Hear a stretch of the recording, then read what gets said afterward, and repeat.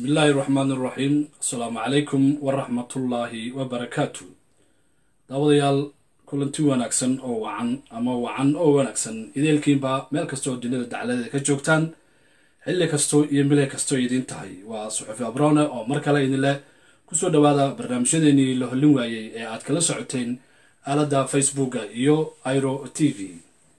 Barnaamijkeenna maanta aynu ka hadli doonaa waa barnaamijkan ugu magac darnay dhulkii eebayaasha oo ah mid aynu ku daahfuraynay in dhoweydba ama qubanoyaal ama musalsal ahaa waxyaabo badan oo ka daahsoon bulshadeenna. Meel kastoo ay dunida dacladeeda ka joogto. Xubinta maanta aynu sida gaarka ah ugu tuntuunsan doonno waa xubin aynu kaga hadli doonno xidhiidhkii u dhexeeyey dadkii reer mesobotamiya ama dadkii sumeeriyiinta la oran jiray iyo soomaalidii hore.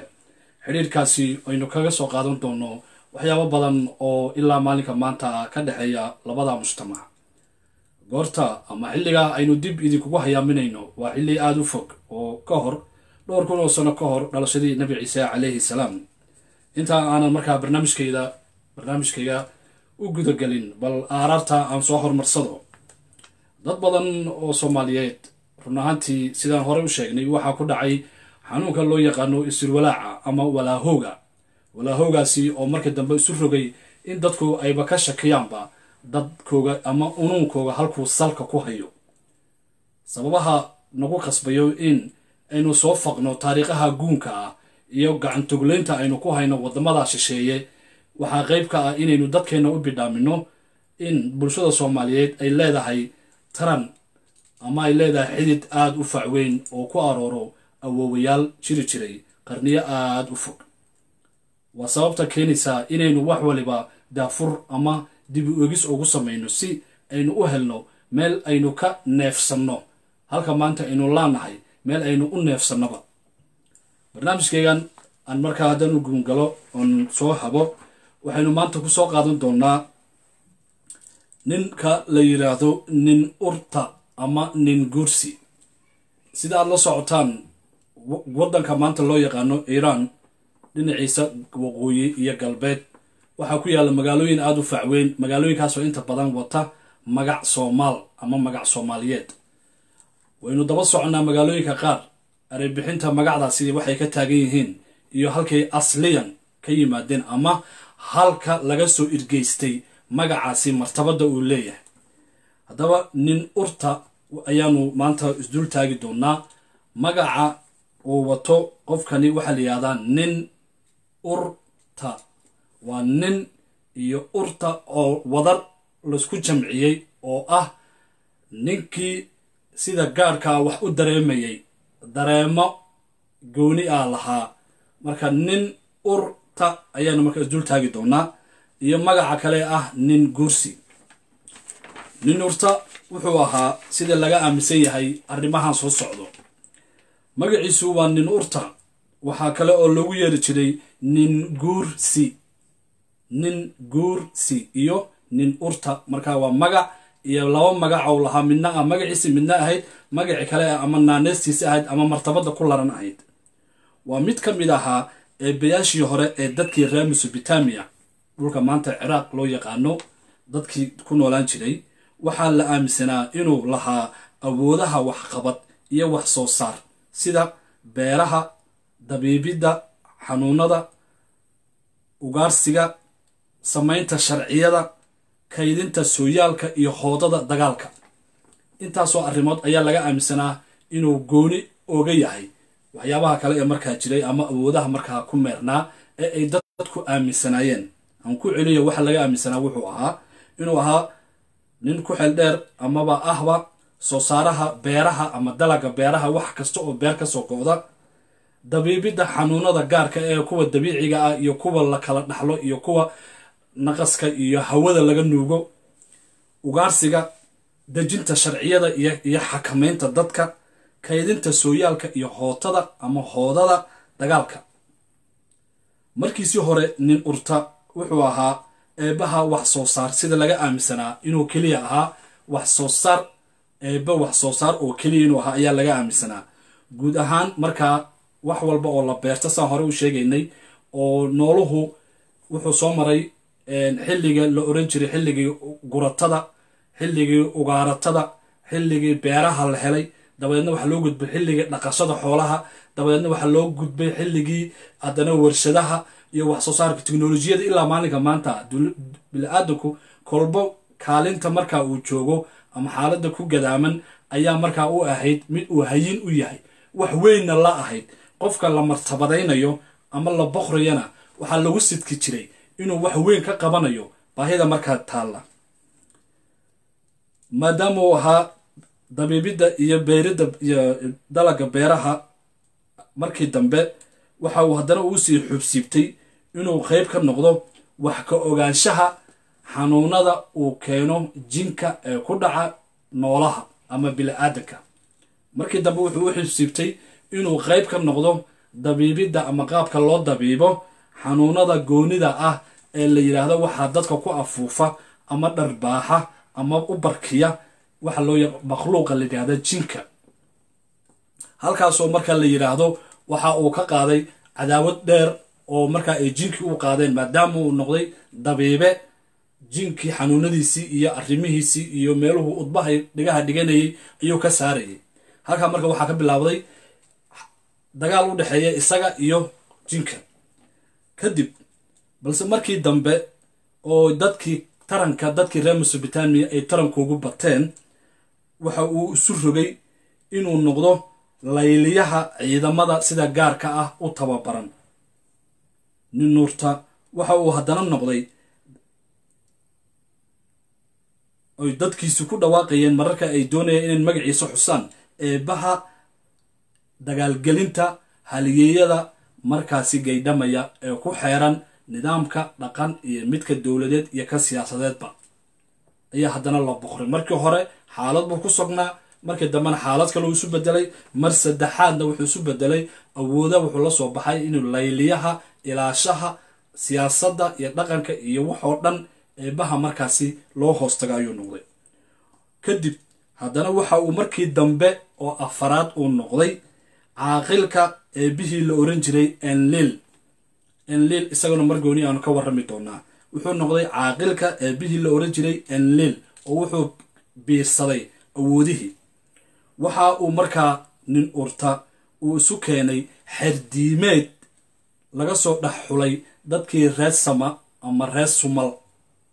Hadba sidii la doono. Sidaan hore u sheegnay haddaad doonaysid inaad taariikhdaada baarto isku day inaad wax walba ood maqashid aad maqashid ama qoraal ah ama maqal ah ama daawasho aba inaad soomaaliyeyso waxaa hubaal ah inay kuu soo baxayso wax badan oo kaa daahsoon waxa uu nin urta uu soo lalabay ama uu diyaariyey xerdiimeed laga soo dhaxulay guud ahaan dadkii reer sumar ama reer sumal.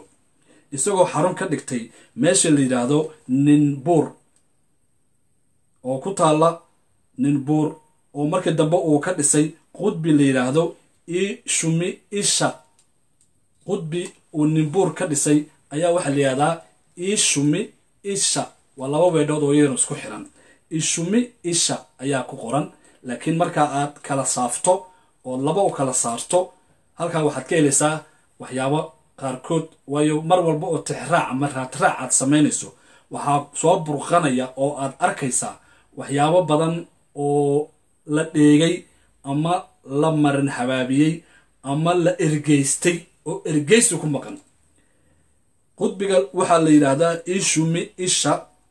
Intaa kadib eebihii nin guursi waxa uu haybadeeyey boqor la yidhaahdo boqor godeeye. Waa maxay godeeye? Soomaalida waxay tidhahdaa looma godeeye waa loo guuraa. Godeeye marka godeeye iminka waa magac soomaali waxaana lagala baxaa sida aan jeclahay gobollada waqooyi waqooyi galbeed ilaa iyo jabuuti waa lagala baxaa magacdaasi loo yaqaano godeeye. Eebihii nin guursi waxa uu haybadeeyey boqorkii la oran jiray boqor godeeye oo markaasi ahaa isagana deganaa deegaankiisana la oran jiray lagash. Dhulkaasi mesobotamiya ama dhulka sumeeriyiintana xukumayey kolkay taariikhdu ahayd laba kun boqol iyo afar iyo labaatan ilaa laba kun boqol iyo afar iyo afartankii ka hor dhalashadii nebi ciise calayhi salaam. Waana boqorkii qudbigii nin urta markii dambe u soo raray lagash. Haddaba inta aanan u gelin qaybta isla qodobkan aan dul taagana ee ka sheekeynaynin urta waxaa mar walba inaga xasuusina qofku haddii uu doonayo ogaanshaha waxyaabaha uu ka maqan siaan hore u sheegnay waa inuu isku dayo dhiirani ama dhiifanid. Waa inuu qof dhiifoon noqdo oo ku dhiiran ama ka digtoon amba iraahdo dadku waxaa laga yaabaa inay si kale u fahmi karayaan laakiin ereyga dhiifoon inta badan waxaa loo isticmaalaa ka digtooni ama digtoonaan ama foojignaan. In markaa laga foojignaado in ay saameyn kugu yeelato dabac marka dambe kugu keento. Waxyaabaha aad baarayso haddaan intaa marka ka sii socdo waxaa jiro wax la yidhaahdo hiddogabayeed laga dhaxlay dadka sumeeriyiinta ah hiddogabayeed markaan leeyahay innaga waxaan adeegsanaa wax la yidhaahdo shee ka xariiro ama wax la yidhaahdo ab laga soo gaad iyo oday ka sheekee oo ah wax la kala dhaxlo oo facba uu fac u tabiyo. Dabadeedna sidaasi ay ku sii waarto arrinta markaa la tabinayo marka hiddogabayeedkani u salaysan qaabka waxaa laisu tabinayo oo la kala dhexlayo ayaa tuduc ka mid ah waxa ay leedahay sida tan soo socoto.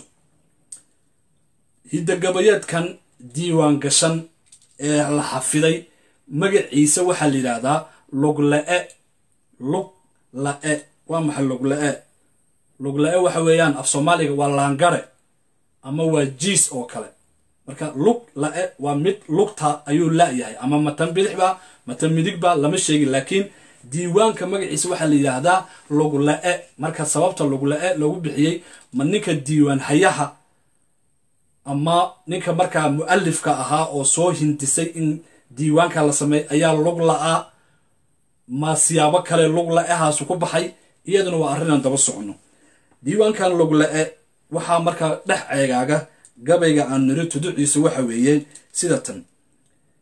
Sooyaalka iyo dhaqanka nin guursi kolka laga hadlayo waxa uu leeyahay lugla-e oo reer mesobotamiya ama reer samar ahaa waxaa dilay jin la yidhaahdo asaag u fiirso.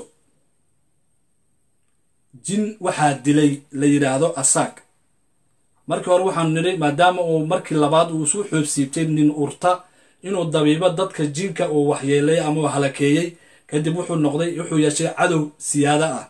Marka waxaa halkan ku tuducdaani gabaygan ku qoran inuu nin urta uu dilay. Jin la yidhaahdo asaag. Halkaasa marka isdul taagayaa. Asaag waa maxay? Waxaa kaloo inaga xasuusin ah magacda ama jumlada ama luuqda ama qaabka ay wax u qoran yihiin marka aad wax baarayso. Shaqalada shaqalka gaaban haddaad wax ku baarto waxaa kuu soo baxaya wax badan oo soomaali ah oo la irgeystay shaqal gaab marka marka aad shaqalka dheerayso cilmi baarista aan baarayno waxaan ka helnay shaqalka la dheeraynayo inaysan fogeyn xilliga la adeegsanayay ama adeegsiga halka uu ka soo bilowday shaqalka dheer ma fogo xilligii qablul islaam diinta islaamka kama sii fogo marka laga hadlayo. Laakiin xarf shaqalka gaaban waxa uu leeyahay cimri aada u dheer. Jinkan markaan dilaynin urta oo ah ee bihii aan ka soo sheekeynayna ee reesama waxaa la yidhahdaa asaag asaag maxay tahay soomaaliga? Af soomaaliga asaag muxuu ku yahay? Asaag waxa weeyaan waa mar waxaa la odhan karaa waxaa la yidhaahdaa asaagaa ka hadh asaagaa ka hadh habaarna way noqon kartaa ducana way noqon kartaa. Asaagaa hadduu xun yahay asaagaa marka waa dadka dhigaaga ah waa dadka kula midka ah waa dadkaad isla hanaqaadeen wax wada barataan wax meel ku wada nooshihiin. Reecamrka waxay dhahaan isku jinka aad tihiin ayaa asaag marka asaagaa ka hadh mar waa habaar. Oo waxay noqonaysaa dadkaagii asaagaa ahay aad kula midka ahay wax wada barateen. Halkii ay cirkaa mareen ee waxbarashadoodii iyo himaladoodii higsadeen adigii waad ka hadhay marna waxay noqonaysaa duco oo asaagaa ka hadh asaagaagii dee raggii dhigaaga ah hadday xun yihiin oo ooda jabsadeen oo dibjiri noqdeen dee ka hadh asaaga. Marka jinkan waxaa la yihahdaa asaag. Dilay nin urta. Siduu u dilay marka iyo qaabka wuxuu ku sameeyey. Ayaanu sii daba raacaynaa. Waxaa jira aalad uu isticmaali jiray nin urta aaladaasoo ahayd aalad aada u awood badan oo magaceeduna uu yahay sharuur. Aaladda waxaa la yihahdaa sharuur. Haddaynu markaa sharuur isdul taagna iyaduna waa maxay? Sharuur waad garanaysaan af soomaaliga barida barida ayaa la yihahdaa sharuur ama sharuuryo. Barida ayaa inta la qaado oo la shiilo inta la kidfo oo la yaryareeyo oo sida luqmadda ama oodkaca niba siduu yaqaan laga dhigo ayaa la shiilaa. Dabadeedna dumarka isticmaala inta badan barida sidaan ku ogahay. Marka la jamcinayana marka la badinayana waa sharuuryo. Markay firifiri ama midhmid tahayna waa sharuur. Aaladan marka nin urta uu iska lahaa ee jinkii asaag intuu soo qaaday uu nin urta ku dilay waxaa la yihahdaa sharuur. Sharuur marka waxaa lagu fasiray inuu yahay kunciil oo kale ama kadabgooye ama rigaaxe waran awood leh oo meeshii lagu tuuro ama wixii lagu dhufto aanan soo noqonin oo kadabgooye ah ayuu ahaa. Marka nin urta waxaa lagu dilay aaladiisii uu ku dagaalamayey uu isaga lahaa. Dabadeedna wuxuu sameeyey dilkiisii marka uu sidaa u dilay hilbihiisii ayuu inta ridqay weli waxaa socda gabaygii ka sheekaynayay qaabkii loo dilay hilbihiisii asaag intuu soo qaaday nin urta oo uu ridqay oo uu burburiyey oo yaryareeyey. Halgan iyo himilo waxaynu ku soo qaadan doonaa dhacdooyin murugo iyo ku taalla xambaarsan. Kuwaasi oo ay la kulmeen bulshadii soomaaliyeed ee nooleed sideed ama toddoba qarni ka hor bulshadaasi waxaynu ka soo qaadan karaynaa mililadii dagaal ee lala galay cadowgii abisiniyiinta waxaynu bulshada u ifin doonaa dhallaanka qoolalka lagu xiray iyo sabiga ku dhex waxaynu kaga hadli doonaa hooyooyin jirdil iyo kufsiyo loo geystay sidoo kale halgama halgamayaal iyo rag iyaguna aynu kaga hadli doono xubnuho ama waaxyahooda ee googo-een ayaynu ku soo bandhigi doonaa barnaamijkan halgan iyo himilo ayuu wuxuu ku dhex qalday dhagaxaan sida inuu marka guriga la dhisayo jariidha iyo xaanida ama dhagaxda yare qaruuraxa iyo sibirka waa la isku qaldaa dabadeedna guryaha lagu dhisaa. Marka waxaa halkan ku qoran hilibkiisii inta la yaryareeyay oo la jarjaray ayaa waxaa lagu qalday dhagaxaan. Dabadeedna wuxuu jinkii uu ku dhisay hareeraha webiyada furaad iyo tigris oo ah laba webi oo aada caan u ah ood wada garanaysaan oo dhulkaasi dina caanka ah. Sababta uu sidaa u yeelayana waxay ahayd eebbahani nin urta oo la aaminsanaa inuu ahaa eebbaha wax soo saarka dalaga beeraha ayaa waxaa loogu talagalay in laga dhigo hilibkiisii dhagaxda lagu ridqay in uu sameeyo waxa loo yaqaano cararog marka la doonayo in la sameeyo wax la beekhaamiyo ama la bacrimiyo waxaan ka wadaa la cararogo waxaa la isticmaalaa aalado cusub si ciiddaasi gabowday ay u noqoto ciid nafaqaysan. Hilibkiisii ayaa marka cararog loo isticmaalay dabadeedna webiyaashii halkay karkaarada ka jabsanayeen ayaa lagu sameeyey oo lagu dhisay. Halkaasi ayuu markaa nin urta taariikhdiisii ay ku soo afjarantay. Wax badan marka oo aynu ka soo dhex saarnay si barnaamijkeena aan u sii wadno ayaa halkaa ku jirta.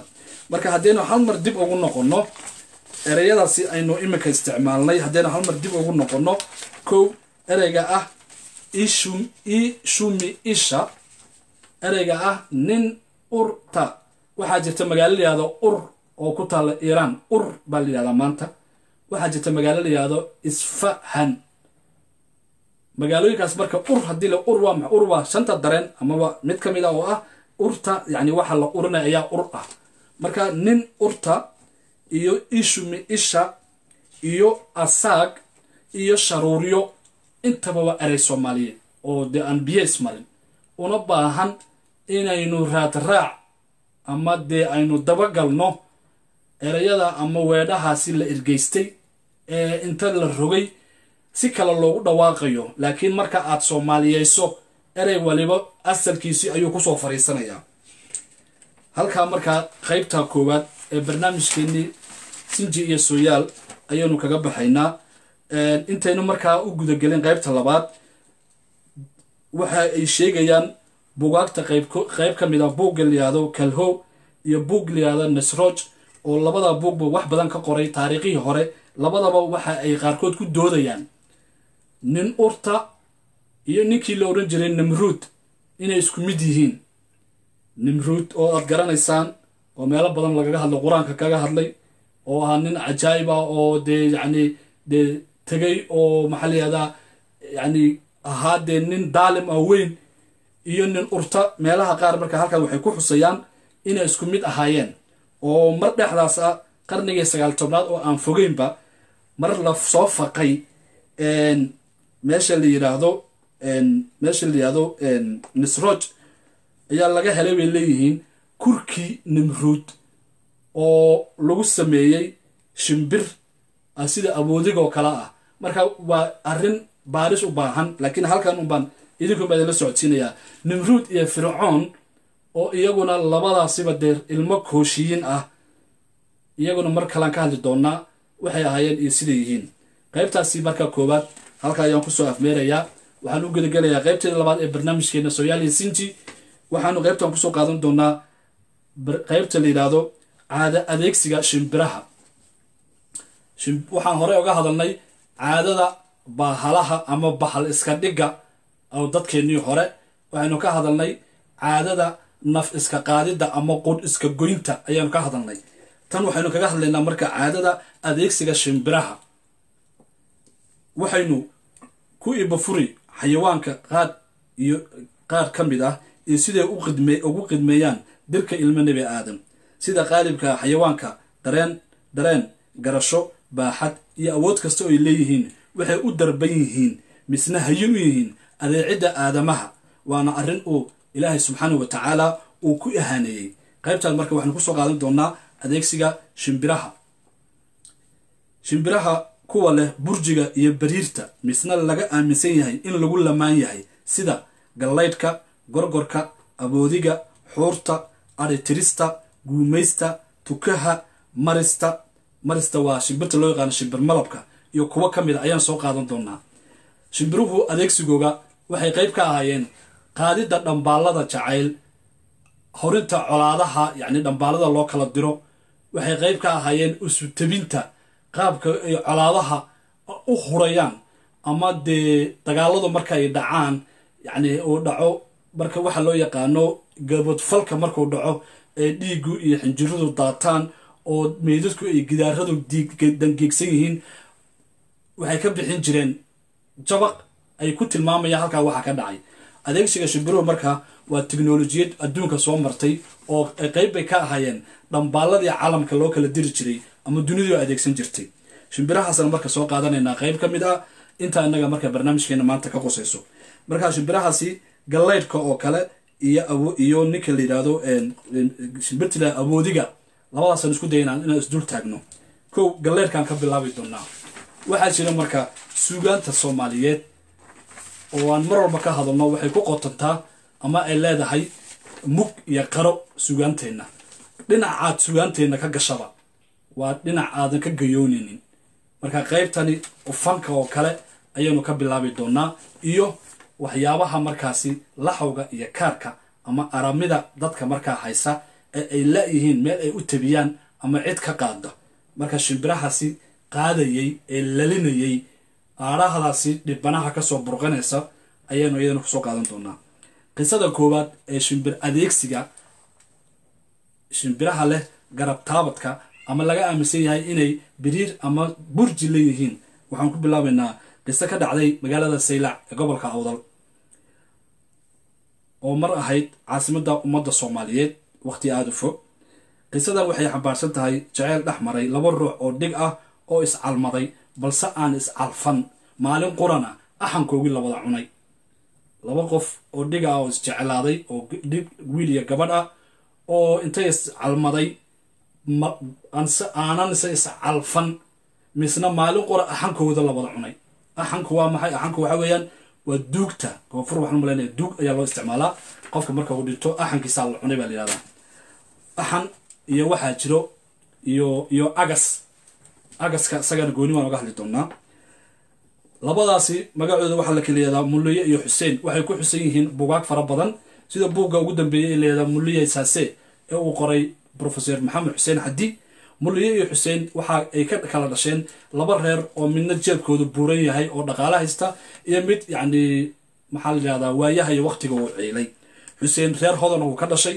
Sida caadada ah dadka reer saylac ardaydooda waxaa loo diri jiray waddamada shisheeyaha sida turkiga iyo indiya indiya oo xilligaa ahayd meelaha waxbarashadeeda ee aadka ugu fiican ayaa xuseen waxbarasho loogu diray magaalada layihahda bombay.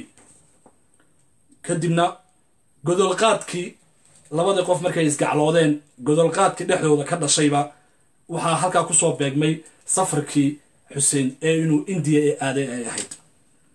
Wuxuu xuseen u baxay dalka indiya gaar ahaan magaalada bombay oo kolkaa reer ay barashada u tegi jireen. Nasiib darro waxaa labadii dhanba ku fogaaday muddadii kala maqnaashaha maadaama la jacaylkii uu ku baaxay labadii dhinacba wiilkiina isagoo gabadhii sii daymoonaya ama sii jaleecaya ama sii dhuganaya oo doonida raacay iyadana sida la sheego ma doonaya inaan sii dhexgalo sheekada laakiin waa in baan ka soo qaadanaya iyadana sida la sheegay ilaa intuu ka libdhayey ee doonida ka libdhaysay waxay taagneed gidaarka ama marsada magaalada saylac ayay taagneed ilaa intii ka libdhayey marka dabadeed waxaa dhacday boholyow iyo waxaa dhacay dal ayaa labadii dhinac dhex maray. Dabadeedna waxaa dhex maray arrimahan soo socdo. Xuseen oo markaa la tiihayo lana tiiraanyasan maqnaanshaha inantays calmadeen ayaa wuxuu niyadiisa ka yidhi armaad aaraahdani aad u tabisaa inantaasi soomaaliya joogta oo aad u marisaa shimbirahan heehaabaya ee aad baadashooda fidsan yihiin armaad baadashooda ku qaladaayo ay shimbirtaasi saylac geysaa isagu markaa waxa uu is leeyahay oo uu haabka ku hayaa aaraahda odhanayso naf ku hawaawirtay dhaqasho kolley hiigsi waa u dan ereyadaas ereygaasi waxaa iskale aan jeclahay allah u naxariistay cabdulqaadir sanka hees uu leeyahay ayay ku jirtaa naf ku hawaawirtay. Hawaawir hadda ka horna waan ka hadalnay. Naf ku soo hambaabiraysa naf niyadda ku haysa. Dhaqasho inay wax dhaqato ilaa waxbarasho u tegay meeshaas inuu wax soo dhaqdo oo wax soo noqdo ayuu u tegay. Hiigsi waa u dan marka inuu hiigsado markuu soo noqdo waxa uu doonaya waa u dan. Halkay iyaduna markaasi ka leedahay naf hilowgu daa'imay kolley hadimo waa usad iyadoo dhinaceeda waxay ka leedahay naf hilowgu ilow boholyow qof aanan dee dhaqaaq joogsi aanan sal u fadhiyin naf hilowgu daa'imay habeen iyo dharaar hilowbaa sidaa u hayo wadnihii baa saa u gariiraya. Kulley hadimo waad garanaysaan. Waxyeelo martii daya. Meeshaasay taagan tahay. Ninaan loo joogin bay jeceshahay. Maxay meesha ka qabanaysaa? Mee waxyeesho warma iyo hooto ayaa saa loogu soo afiirsanayaa hadimaa marka hadimo ayay mar iyo habeen iyo ayaanba hadimay la nooshahay. Marka asna halkaasuu sidaa ka leeyahay. Iyadana halkaan sidaa ka leedahay. Markii dambe ayaa xuseen wuxuu go'aansaday inuu haatuf u soo dhiibo ereyadaasi soo socdo. Waxay arrin sidaa ahaataba xuseen oo naftiisa ka hadlaya ayaa waxa uu dhambaal u soo dhiibay haatuf oo kalkaa ahaa sabeeye ku wanaagsan safar heehaabka hawada sare. Shimbiruhu ilaahay baa ugu fududeeyey yacni ku ihaaneeyey qaabka ay markay hawada marayaan ay baadadkooda u fidiyaan marna u laabaan qaabkay u soo degaan qaabkay u duulaan waa ihaaneyn ilaahay ku ihaaneeyey wuxuu u soo dhiibay sabeeye ku wanaagsan safar heehaabka hawada sare waxaana uu yidhi sida tan. Wuxuu yidhi shimbiray lalaay ma iduulaysaa hoowa. Shimbirtii buu la hadlayaa. Shimbiray lalaay hoowa. Shimbirtii buu la hadlayaa gabadhii casayd ma i garab dhigtaa yacni waxa weeyaan shimbiray lalaay ma i duulisaa shimbir ahay samadaa marayso. Maad i duulin oo maad i khasare ii qaadi oo maad ii awoodda inaad halkan doonaya ii geyso. Oo misna gabadhii casayd ee mulliyo aad ii aggeyso markaa hawadii shimbirtii iyo hawadii iyo hankii iyo wixii u dhiibay dabaylihii soo qaaday ilaa wixii waan suugaanaynaynaye ayaa hawadii soomaaliya oo dabaylihii mansuunka soo qaadeenoo xeebta badda caso soo mariyeen dabadeedna halkaa magaaladii saylac ka soo galeen. Mulliyo markaa garab kataabad oo kale loola u dareensan. Ayaa iyadana markaa waxay leedahay sideeta soo socto waxay leedahay reer suuriya iyo reer saaxil yimaadey hoowa. Doonyihii bombay ma bir baa ku jaban suuriya iyo saaxil dadkii dhulka carabaha ka iman jiray ee doomaha ku soo xidhan jiray magaalada saylac ama marsada saylac ee ganacsiga uu ka dhexeeyey ayay ka hadlaysaa. Marka reer suuriya iyo reer saaxilba way yimaadeene kuwii bombay ka iman jiray ma bir baa ku jaban oo maxaa helay? Yacni maxau helay oo hataa qof iyaga ka mid a haddii la arko xataa ila qofkaagi meeshuu joogay haddii gaari ka yimaado ama diyaarad ama dee wax intaasaa naruuro aba oo dee nafku degsi oo nafta ay ku degi. Markaa dabadeed xuseen oo dareensan aarahdiisa inay gaadhay ayaa haddana mar kale haatufkii uu si beer raqa oo la hadlay oo jilecsan oo daxiinsan oo la hadlay. Isagoo leh maadaama ay tiri reer suuriya iyo reer saaxil yimaadee howa dooyihii bombay ma bir baa ku jaban? Isna wuxuu yidhi amba waan jeclaa inaan soo jid maree howa jiilaal shiiba jidka igu xayiray. Waan jeclaa inaas waxaa jiri jiray wax la yidhaahdo badxiran dadka kulle reexeebeedka way yaqaanaan xilli badaha aan la marin baa jira oo aanan ladee la safrin. Marka wuxuu leeyahay jiilaalkaas igu adkaadaye hataa waxbarashadeeda waan ka soo tegi lahaa. Marka ko wuxuu yidhi shimbiraay lalaay hoa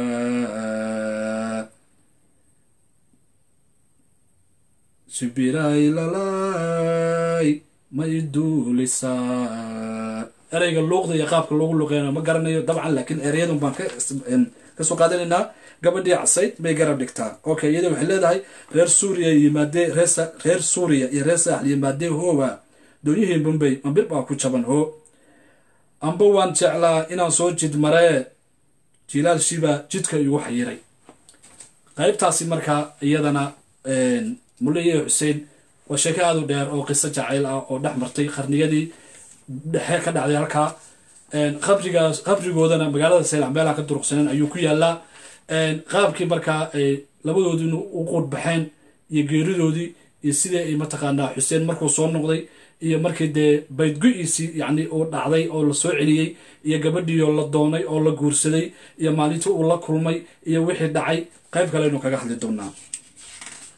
Isla qaybtani shimbira adeegsiga ayaynu weli dul taaganaa ee barnaamijkeenii soyaal iyo sinji tusaalaha labaad qaybtan waxaan ku soo qaadanaynaa hees uu asagana uu leeyahay sida aan jeclahay ninka la cabdulqaadir yuusuf bagaag.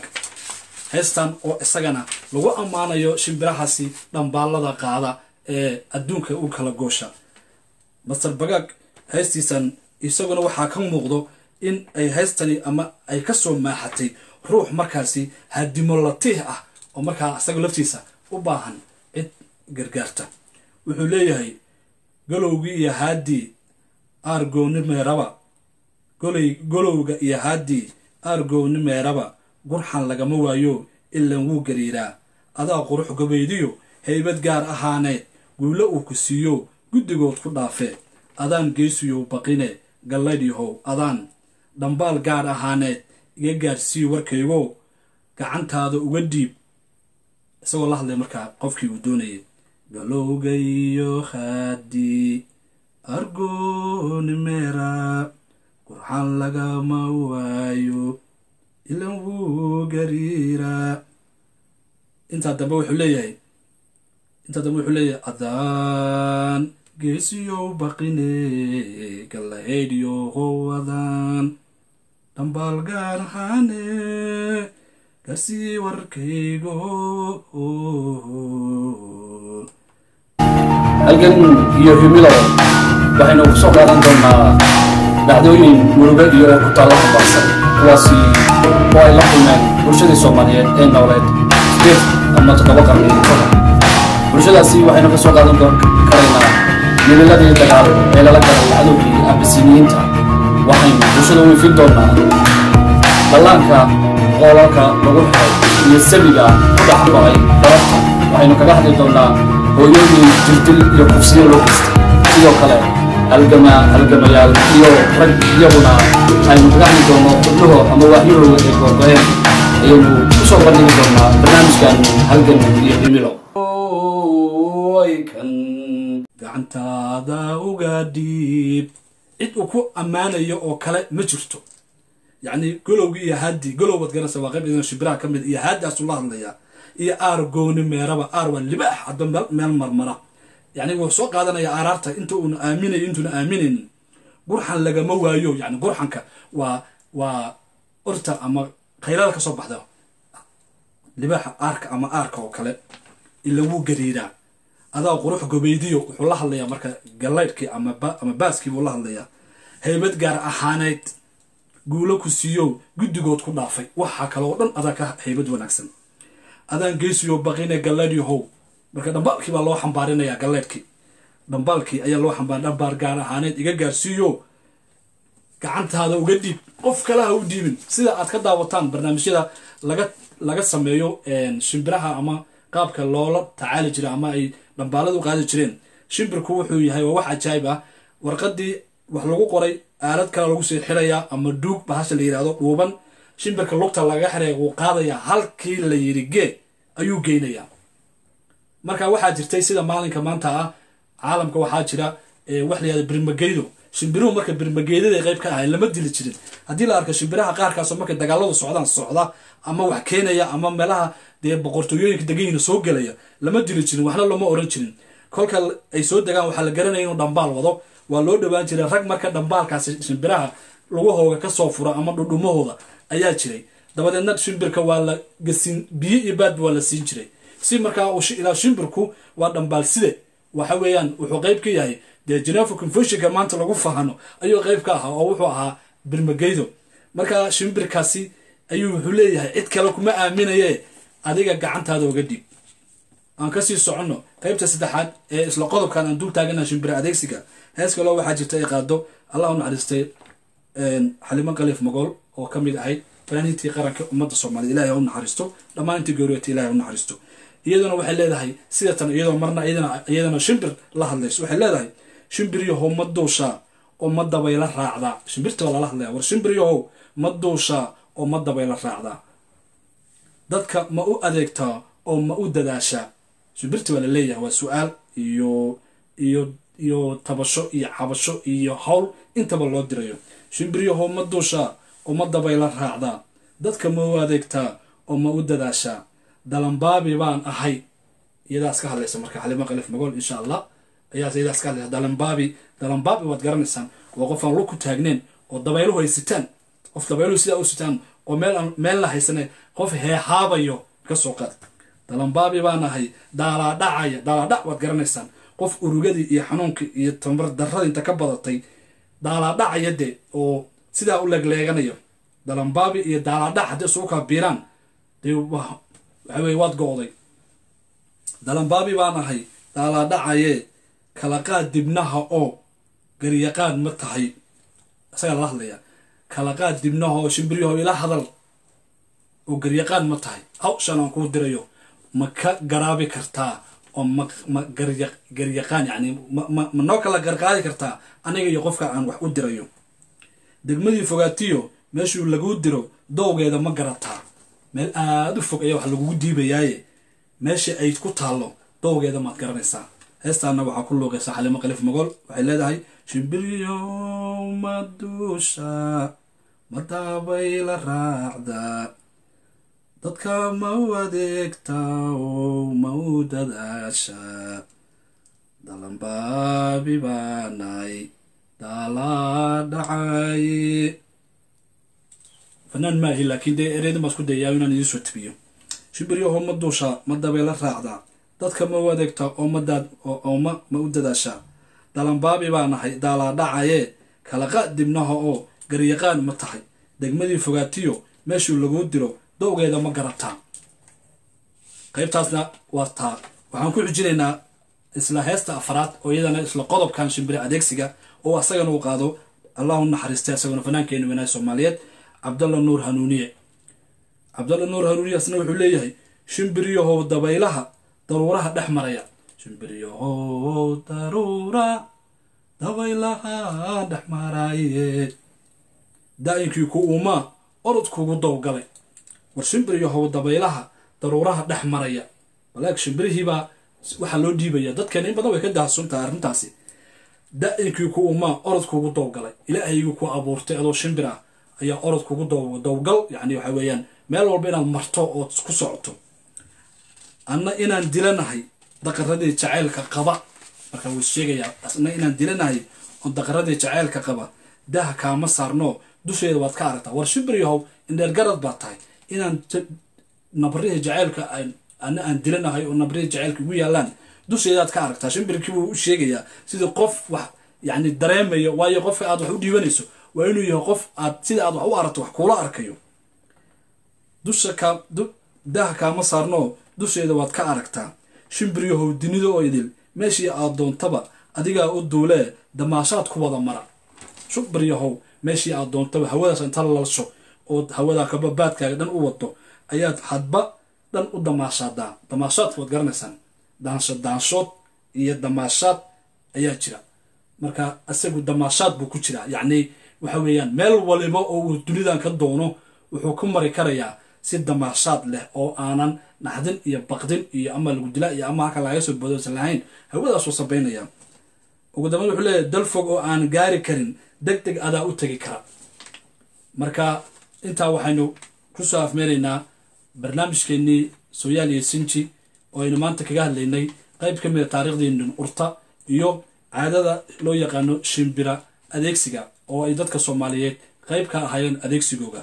Waxaan markaa ugu dambeynta ku soo khatimayaa barnaamijkayga qaybtan ugu dambayso oo aanan ka wada gaari karaynin si aan wakhtiga u soo gunaanado qaybta ugu dambeysa waxaan ugu talagalnay inaynu kaga hadalno waxa loo yaqaano gumaystaha iyo la gumayste dhammaantiin waa idin wasalaamaya soo wada dhawaada khiyaarta qiimaha leh rag dumarba.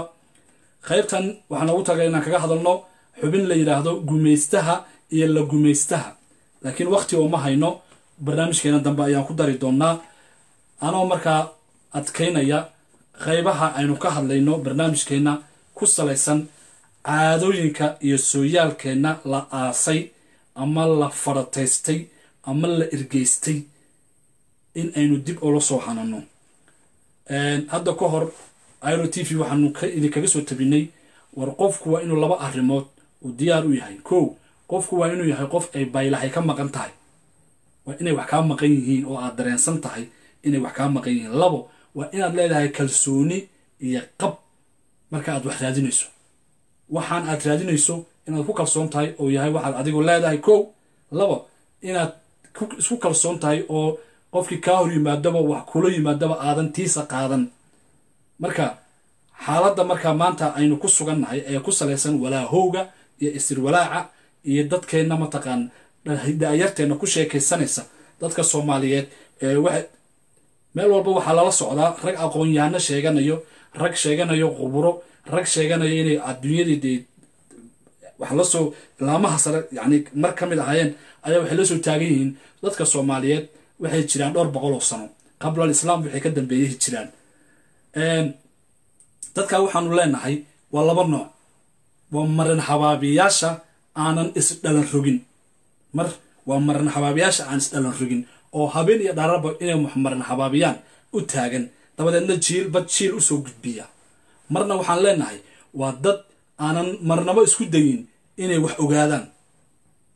Qofka hadduunan isku dayin inuu wax ogaado oo uusan doonayn inuu wax baaro wax akhriyo wax qoro hadduusan doonaynin dambaabas wax liyaadoo sameeyaa wixii la soo qaadaba wuu dafiraa wuu inkiraa waxaan waxba kama jiraan waxaan sidan ma aha kan kan ma aha sababtoo ah libinta ayuu diidan yahay. Qofkan wax u soo helay ama wax la soo baxay ama wax helay ama dee wax soo bandhigay ayuu ka libin diid baa layihahdaa libinta wuu diidan yahay. Marka labadaasaa dadkayni maanta yani labada dhagood wax kaga afuufaya. Waxaan arkay oo wax aada looga naxa ah oo cajaayib ah. Maalin dhexdaasa qof baa wuxuu isoo diray waxaan hadda ka idinka codsanay contribution. Qofka wax walba oo aad hayso is leedahay way habboonta in laga hadlo waxaanu idinka codsanaynaa meeshaan ku soo qornay inaad gmailkeena noogu soo dirtaan wixii tale iyo tusaale ah iro at gmail dot com. Nin baa marka wuxuu isoo diray maqaal uu leeyahay waxaa lagaga sheekeynaya taariikh soomaaliyeed. Kolley waa wax aniga ahmiyadeyda ama dee aan awoodeeda ama aan dadnimadeeda aan inta badan qiimeeyo inaan baaro wixii taariikh iyo dhaqan iyo sooyaal iyo hiddaaba ninkii waxaan ku maasanta waan eegi doonaa. Waqti omaanle mar danbaan eegay waxaa ku qoran ciwaan qurux badan oo ah taariikhda tobanka kun oo sano la soo dhaafay ee ummadda soomaaliyeed. Waa magac martabeedku waa magac qurux badan. Waxaan yidhi alle le wax badan baa meeshaan ka helaysaa waxaa la yidhi didir xabaalo qodeen qurun buu u dhacaa. Qoraalkii markii ugu horreysay markaan ciwaanka ka gudbayba waxaan arkay in laga dullalinayo indhaha dadka soomaaliyeed oo dad kale la rabo in meeshii lagu soo riixo dar riixasho. Xeebaheenna gaar ahaan koonfurta marka laga hadlayo muqdisho iyo marke iyo baraawi iyo kismaayo ayuu xoogga saarayay marka anigoo tii la yaaban uu dadk dadkii soomaalida ka riixaya meesha ayaa wuxuu yidhi waxaan ka hadlayaa taariikhda boqortooyadii ajuuraan. Boqortooyadii ajuuraan oo ah boqortooyo aan gobolka ka dhici jirin oo la oran jiray boqortooyadii barwaaqa sooranka kana mid ahayd labada boqortooye ee marka laga hadlayo horumarka iyo kacaamaynta iyo isku soo dumista iyo horgal yacni hor marka laga hadlayo ahayd. Ayuu doonaya inuu ka hadlo. Wuxuu yidhi boqortooyada ajuuraan waxay ahayd boqortooyo dadka soomaaliyeed dhibta. Hadalkaasi markuu qof wax qorayo uu meel ku qoro oo qofkii wax raadinayo uu arko waxa weeyaan waxay ku noqonaysaa waran. Boqortooyo dhan oo jirtay oo awood leh oo soomaaliyeed oo marka boqortooyada ajuuraan iyo boqortooyada adal empire marka laga hadlayo siday isugu hilbadirinayeen cadowga isaga dhicinayeen ummadda u ilaalinayeen boqortooyada ajuuraan oo maanta ceelasha la manfacsado soomaaliya oo dhan ceelasha la manfacsado boqortooyada dejisay istaraatiijiyada magaalooyinka town planninka dhan boqortooyadii dejisay beerahaad aragteen boqortooyadii dhistay buundooyinkaad aragteen ama kaabadaha boqortooyadii dhistay xeerarka iyo nidaamyada ciidamada boqortooyadii dhistay ayuu wuxuu ku leeyahy waxay ahayd boqortooyo meel kaga dhacda soomaalida cadaadi jirtay. Anigoo tii la anfariisan ayuu wuxuu sii raaciyey boqortooyadani waxaa maamuli jiray ama boqor u ahaa nin masaare ah oo masar ka yimid. Marka qof soomaaliya oo sidaa wax u qoro qof soomaaliya markuu wax sidaa u qoro oo uu yidhaahdo boqortooyada ajuuraan waxaa boqor u ahaa nin masaare ah qofka cad ama ninka masriga ah ama ninka yacni doonaya inuu taariikhdaada dheegto xaguubuu joogaa. Marka dadka noocaasa ninkii email baan u qoray waxaan ku yidhi ka wantow waxaana masax kana saar meesha aad soo gelisay. Sababtoo ah waxa weeyaan waa taariikh cay horaan oga hadal taariikh cay baa jira. Taariikhdaada in la caayo maaha inaad ogolaato dhaqanka iyo caadada iyo taariikhda iyo diinta iyo wax walba oo aad ku gabraaranayso. In la caayo meel lagaga dhaco waa qalad bulshada soomaaliya weliba kuwooda aqoonta sheegta ee wax qora oo meelo badan ka hadlaya isir sifaynta marka laga isir isir baraxa marka laga hadlayo. Isir barxa oo soomaalida ka dhiga dadyo kale iyaga laftooda waxaan leenahay arrintaasi dib aa looga joogsado. Barnaamijkeenii sooyaal iyo sinji oo aad kala socoteen iro t v iyo aaladda facebooka halkaa ayaynu ku soo afmeeri doonaa wixii tale iyo tusaale ah waxaad inoogu soo gudbinaysaan emailkeena ah iro at gmail com barnaamijkan mid la mid inta aan ku kulmayno waa anigoo idinle wasalaamu calaykum waraxmatullaahi wabarakaatu